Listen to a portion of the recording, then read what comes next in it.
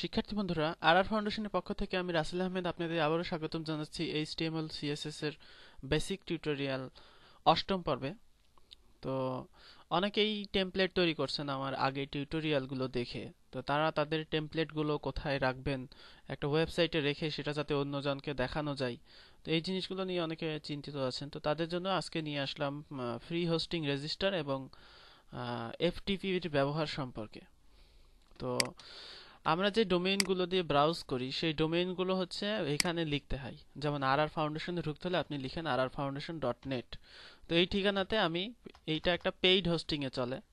তো এই যে ডোমেইনটা এই ডোমেইনটা হচ্ছে এটাকে বলে টপ লেভেল ডোমেইন এটাকে আপনাকে অবশ্যই কিনতে হবে। তো আপনি যদি শেখার সময় একটু প্র্যাকটিস করার জন্য একটা ফ্রি ডোমেইন এবং হোস্টিং নিয়ে ফ্রিতে এগুলো হোস্ট করতে পারেন, সেই জন্য আজকে টিউটোরিয়াল তো আপনারা গুগলে গিয়ে লিখবেন ফ্রি সি প্যানেল হোস্টিং তো হোস্টিংটা কি আর ডোমেইনটা কি সেটা আমি একটু বুঝিয়ে দেই। ডোমেইনটা হলে যে আমি বললাম R R foundation dot net এই ঠিকানা দিয়ে প্রবেশ করলে আমাকে যেখানে নিয়ে যাবে সেখানে যা কিছু দেখব সেটা হচ্ছে আমার হোস্টিং থেকে আসছে। অর্থাৎ আপনি আপনার কম্পিউটার থেকে যেমন আমি হচ্ছে এখানে basic index HTML double click করে যে ওপেন করলাম, করলে যে একটা ওয়েবসাইট ওপেন হলো যেটা আমি তৈরি করেছি, এইটা হচ্ছে আমার একটা হোস্টিং এ আছে। অর্থাৎ হোস্টিংটা হলো আমার ডেস্কটপ আমার কম্পিউটার হচ্ছে আমার হোস্ট হিসেবে কাজ করছে। কিন্তু এখন এই সাইটটাই যদি আপনি দেখতে চান, সেক্ষেত্রে আপনি কি আপনার কম্পিউটারে তো এটা থাকবে না। তো এমন একটা জায়গাতে এই ফাইলগুলো রাখতে হবে, যেখান থেকে সবাই এই ফাইলগুলো দেখতে পারে, অর্থাৎ ব্রাউজারে দেখতে পারে। এটাই হচ্ছে হোস্টিং এর মূল ধারণা। আর ডোমেইনটা হচ্ছে আপনার যেই ঠিকানা দিয়ে আপনার এই ফাইলগুলো খুঁজে পাবে, সেটাই হচ্ছে সেই ডোমেইন।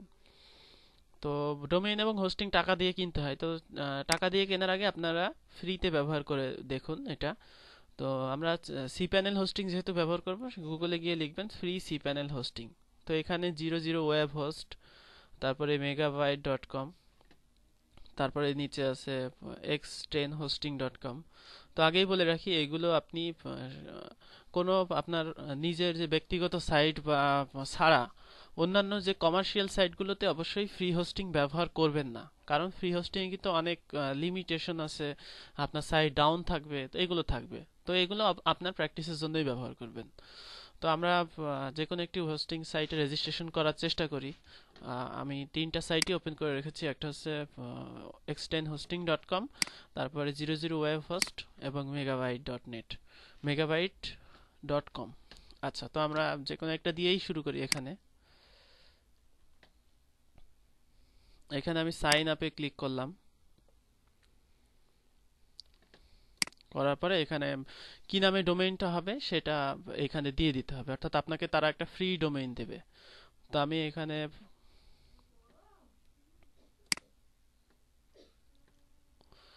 ইউজার নেমটা দেই।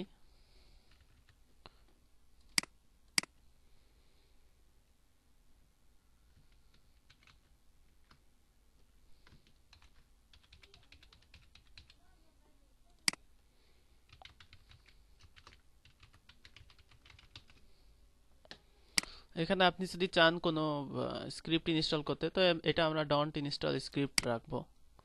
সাইট ক্যাটাগরি এখানে পার্সোনাল দেবেন। Site language English eight eight B F E এটা হচ্ছে একটা ক্যাপচা এটা দিতে হবে, দিয়ে রেজিস্টারে ক্লিক করবেন। রেজিস্টারে ক্লিক করলে দেখবেন যে আপনার এখানে অ্যাক্টিভেশন মেইল চলে গেছে, আমার এই ঠিকানা। তো এখন মেইল চেক করতে হবে।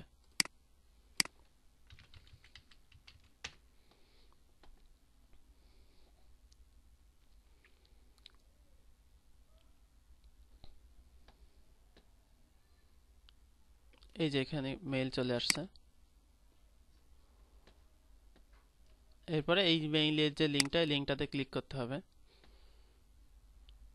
এই লিঙ্কটাতে ক্লিক করলে এখানে আমি চাচ্ছি না যে আমি যে কোনো স্ক্রিপ্ট এখানে ইনস্টল করতে চাচ্ছি, তো আমি স্ক্রিপ্ট ইনস্টল করব না। তো এইখানে আপনার অ্যাকাউন্টটা ওরা এখন তৈরি করছে, এত সেকেন্ড সময় লাগতে পারে। তো আপনাকে পেজটা রিফ্রেশ করতে নিষেধ করছে, এটা অটোমেটিক্যালি রিলোড হবে।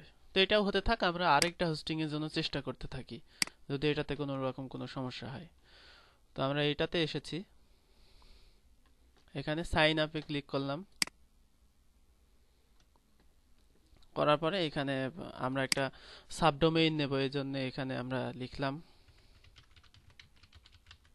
R R foundation dot net seventy eight dot net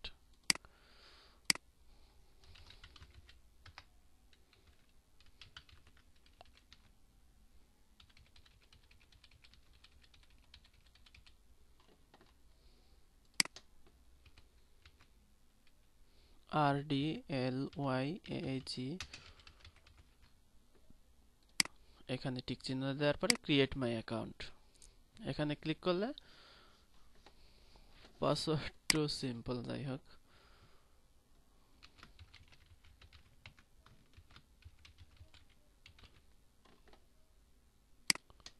C D U R I N G N D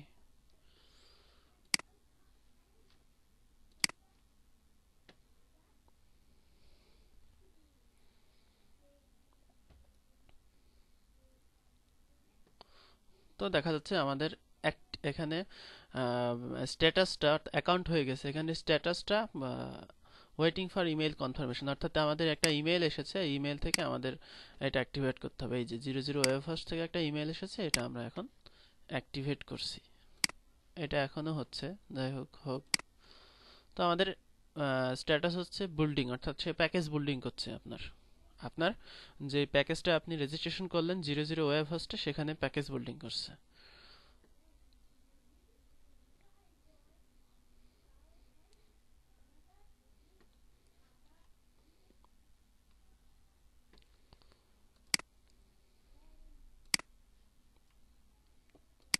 এখানে রিফ্রেশ স্ট্যাটাসে ক্লিক করি।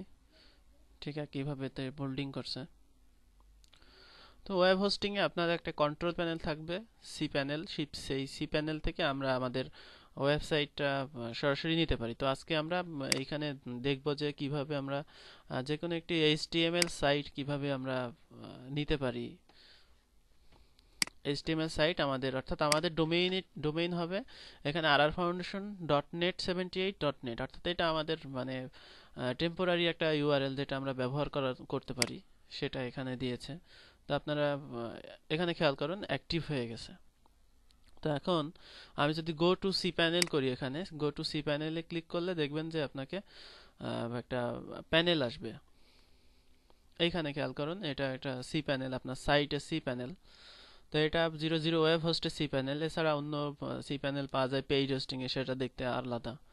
তো এখন আমরা চাই যে আমাদের যে ডোমেইনটা R R foundation dot net seventy eight dot net এই ডোমেইনে আমরা একটা এইচ সাইট আপলোড করব। অর্থাৎ আমরা যে সাইটটা করেছি, সেটাই আপলোড করব। তো সেই জন্য এখানে আমরা আমরা এফটিপি দিয়ে যেহেতু করব, সেই জন্য আমরা এখানে এফটিপি অ্যাকাউন্ট করে নেব। তো এফটিপি অ্যাকাউন্ট করার জন্য এখানে ভিউ এফটিপি ডিটেলস এখানে ক্লিক করবেন।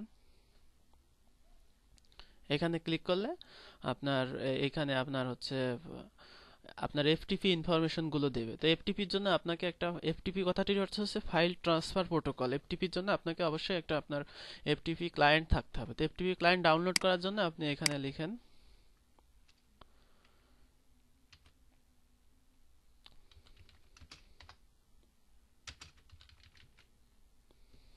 ফাইল জিলা ডাউনলোড লিখে সার্চ দেন গুগলে এখানে ফাইল জিলা প্রজেক্ট ডট অর্গ এখানে আসবে। এখান থেকে আপনি এফটিপি ক্লায়েন্টটা ডাউনলোড করবেন। এখানে এফটিপি ক্লায়েন্ট ডাউনলোড করতে হলে এখানে ক্লিক করলে সোর্স ফোর্স থেকে এটা ডাউনলোড হবে। এটা একটা সফটওয়্যার এফটিপি সফটওয়্যার এটা খুব বেশি সাইজ না।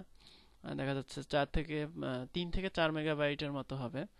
তো এটা আপনাকে ডাউনলোড করে ইনস্টল করতে হবে। Four point four eight megabyte আচ্ছা আমাদের বাইট অ্যাকাউন্টটাও রেডি হয়ে গেছে। তো যাই হোক, আমরা ওইটা আগে ট্রাই করি, তারপরে এটা দেখব। তো এখানে এফটিপি অ্যাকাউন্টের আমাদের যে পাসওয়ার্ডটা সেই পাসওয়ার্ডটা সেম পাসওয়ার্ড মানে অ্যাকাউন্টে যে পাসওয়ার্ড সেই পাসওয়ার্ডই আছে। তো আমরা এফটিপি পাসওয়ার্ডটা চেঞ্জ করি। এফটিপি পাসওয়ার্ড চেঞ্জ করার জন্য এখান থেকে নতুন পাসওয়ার্ড দেই।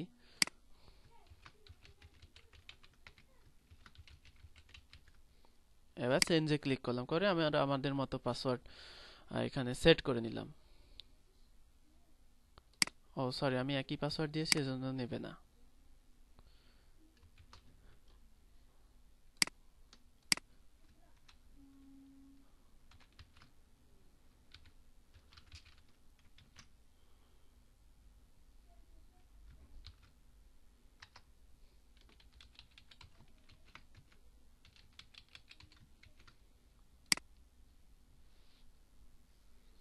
পাসওয়ার্ড চেঞ্জ হয়ে গেছে, আমরা ব্যাক টু কন্ট্রোল প্যানেল করলাম।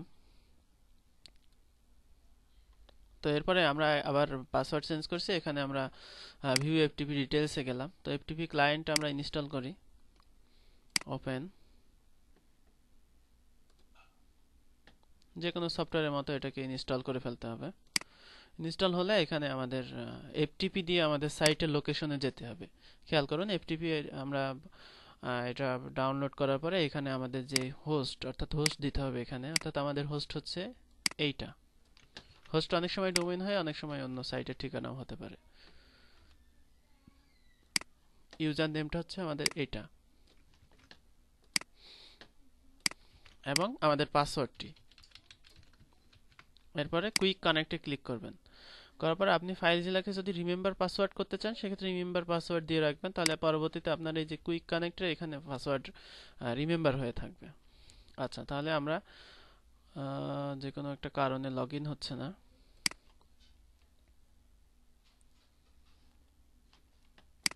আবার ট্রাই করি।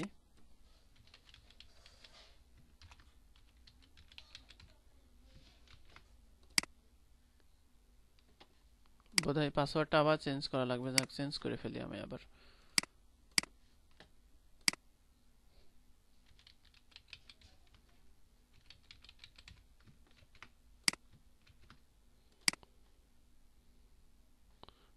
Password changes will apply on the server in few minutes ও আচ্ছা। মানে পাসওয়ার্ড ওদের সার্ভারে অ্যাপ্লাই হতে একটু সময় লাগে। আচ্ছা আমরা ট্রাই করতে থাকি। হ্যাঁ আমাদের পাসওয়ার্ডটি এখন হয়ে গেছে। এই যে আমরা যে লোকেশন পেলাম, এই লোকেশনে আমাকে এখানে বলাই আছে do not upload R file here do not upload file here অর্থাৎ এখানে আমাদের কোনো ফাইল মানে ওরা আপলোড করতে নিষেধ করছে। আমাদের মেইন যে আপলোড করতে হবে, অর্থাৎ ডোমেইনের রুটে আপলোড করতে হলে যে পাবলিক এইচটিএমএল হচ্ছে আমাদের ডোমেইন রুট এখানে ডাবল ক্লিক করতে হবে। করার পর এই যে এখানে যে আমাদের লোক মানে ফাইলগুলো এইগুলো হচ্ছে আমাদের ডোমেইনের ফাইলগুলো। অর্থাৎ আমরা যদি R R foundation dot net এইটা দেই, তাহলে এই ফাইলটা শো করে ডিফল্টভাবে। তো আমরা এটাকে ডিলিট করে দেই। এটা যেহেতু আমাদের আর আমরা রাখছি না।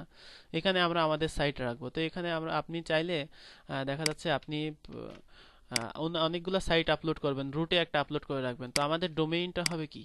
আমাদের ডোমেইনটা হবে এইটা R R foundation dot net seventy eight dot net তো আমরা যদি এখানে আপলোড করতে চাই, সেক্ষেত্রে রুটে আমরা আপলোড করব, অর্থাৎ পাবলিক এইচটিএমএল ফোল্ডারে তো আমরা এখন আপলোড করি, আমাদের ফাইলগুলো হচ্ছে যেইটা।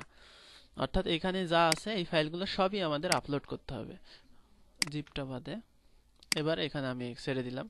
দিলে দেখা যাচ্ছে এখানে খেয়াল করুন, ফাইলগুলো সব আপলোড হচ্ছে। এখানে কুইট ফাইলস মানে কয়টা ফাইল আপলোড হবে? সাকসেসফুল ট্রান্সফার্স মানে আপনার ফাইলগুলো আপলোড হয়ে যাচ্ছে। এখানে কুই এখানে আপনার হচ্ছে দেখবেন মোট কতটুকু ফাইল এখানে আপলোড হবে? দেখা যাচ্ছে ওয়ান পয়েন্ট ওয়ান মেগাবাইট এখানে আপলোড হবে। এবং এটা কমতে থাকবে যে আপনার যতক্ষণ ফাইল আপলোড হবে, অর্থাৎ ফাইল এতটুকু বাকি আছে। তো সব ফাইলগুলো আপলোড হয়ে গেলে পরবর্তীতে আমরা যদি আমাদের ডোমেইন ব্রাউজ করি, সেক্ষেত্রে আমাদের ফাইলগুলো দেখতে পারব। এগুলো সার্ভারে রাখা হয়ে গেল। তো এভাবে আপনারা যে ফাইলগুলো যখনই তৈরি করবেন আরেকজনকে দেখানোর জন্য বা আমাকেই দেখানোর জন্য অনেকে কি করেন, মেইল করে পাঠিয়ে দেন। তো সেটা ডাউনলোড করে, এক্সট্রাক্ট করে দেখতে আমার সময় লাগবে। তো যদি তিনি একটা ওয়েব ঠিকানা দেন যে, আমি এটা করলাম আজকে, দেখেন তো কোথাও ভুল হয়েছে কিনা, সেক্ষেত্রে আমি কিন্তু ক্লিক করে দেখে ফেলছি। বা আপনি ক্লায়েন্টকে যদি একটা প্রজেক্ট দেখাতে চান, সেক্ষেত্রে আপনার এই সার্ভারে আপনি দেখাতে পারবেন। তো এখানে খেয়াল করুন, সব ফাইল আপলোড হয়ে গেছে। এখন আমি যদি এখানে আমার সাইটটা লিখে এন্টার দেই, সেক্ষেত্রে দেখা যাবে যে আমার কিন্তু, আমার এই যে, এই সাইটটা কিন্তু সার্ভার থেকে আমার এখন শো করছে।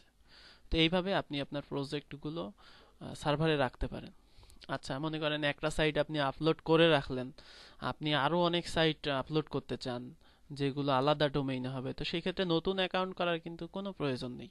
সেক্ষেত্রে আপনি কি করবেন, এই যে এখানে অর্থাৎ এটা আপনার পাবলিক এইচটিএমএল তো এখানে একটা ফোল্ডার করেন। রাইট ক্লিক করে ক্রিয়েট ডাইরেক্টরি করার পরে এখানে আপনি লিখলেন যে প্র্যাকটিস প্র্যাকটিস লিখলেন। এখানে আপনি প্র্যাকটিস নামে একটা ফোল্ডার এখানে তৈরি হয়ে যাবে। তো সেই ফোল্ডারে আপনি যাবেন। যাওয়ার পরে সেখানে আবার আরেকটা সাইট আপলোড করবেন। এভাবে আপনি যতগুলো ফোল্ডার করবেন, ঠিক একইভাবে এখানে স্ল্যাশ প্র্যাকটিস লিখে এন্টার দিলে আপনার সেই সাইটটা শো করবে। আপনি যদি প্র্যাকটিসের মধ্যে আরেকটা ফোল্ডার করেন, দেখা যাচ্ছে ওইখানে আপনার ডেলি ডেলি থাকবে। এখানে স্ল্যাশ দিয়ে সেই ফোল্ডারের নামটা এখানে দিতে হবে। অর্থাৎ আপনি কিন্তু এখানে একটা সাইট না, অনেকগুলো সাইট এখানে হোস্ট করতে পারেন। তো আমাদের এখানে ফোল্ডার তৈরি হয়নি। এখানে খেয়াল করুন কানেকশন টাইম এড আউট এজন্য আমরা আবার চেষ্টা করব। এরকম হতে পারে। কারণ ফ্রি হোস্টিং এ এরকম হওয়ারই কথা। এই যে এখন কিন্তু হয়ে গেছে। প্র্যাকটিসের মধ্যে মনে করেন আমি আরেকটা সাইট আমি আপলোড করতে চাই। সেক্ষেত্রে এখানে কিন্তু আমি আরেকটা সাইট এখানে আপলোড করে ফেলতে পারব। তো এইভাবে আপনারা, আপনাদের সাইটগুলো সার্ভারে নিয়ে নেবেন। তো আমরা আরও হোস্টিং দেখেছিলাম যে এখানে আরেকটা হোস্টিং আছে। এখানে খেয়াল করুন আপনার এখানে কিন্তু তারা এফটিপি দিয়ে দিছে অর্থাৎ মাই আপনার এফটিপি ইউজার নেম পাসওয়ার্ড আপনার অ্যাকাউন্টের যে পাসওয়ার্ড সেটাই পাসওয়ার্ড আর হোস্ট নেম হচ্ছে এইটা। অর্থাৎ এখানে খেয়াল করুন, আমাদের এর আগে হোস্ট নেম এটা, এটাই ছিল, এটার সাথে এটার হোস্ট নেম ছিল, কিন্তু এখন এখানের হোস্ট নেম কিন্তু আলাদা। অর্থাৎ FTP dot byte host twelve dot com আর আপনার যে হোম হোম পেজ সেটা হচ্ছে এটা। অর্থাৎ এই ঠিকানা দিয়ে আপনি ব্রাউজ করতে পারবেন। তো এইভাবে আপনি আপনার সাইটগুলো প্রজেক্টগুলো অনলাইনে হোস্ট করুন। আশা করি এই টিউটোরিয়াল দেখার পরে আপনাদের হোস্টিং সম্পর্কিত সমস্যার সমাধান হবে। আর হোস্টিং রেজিস্ট্রেশন করে রাখলে আপনাদের আগামীতে, কারণ আমি খুব শীঘ্রই ওয়ার্ডপ্রেসের ধারাবাহিক টিউটোরিয়াল শুরু করব, তখন এই হোস্টিংগুলো কাজে লাগবে। তখন আমরা হোস্টিংয়ে ফাইলগুলো আপলোড করে রাখব ওয়ার্ডপ্রেস হোস্টিংয়ে শিখব, কীভাবে ইনস্টল করতে হয় মাইস্কুল ডাটাবেস কি, এগুলো, এই জিনিসগুলো শিখব। তো ধন্যবাদ মনোযোগ সহকারে টিউটোরিয়ালটি উপভোগ করার জন্য। আল্লাহ হাফেজ।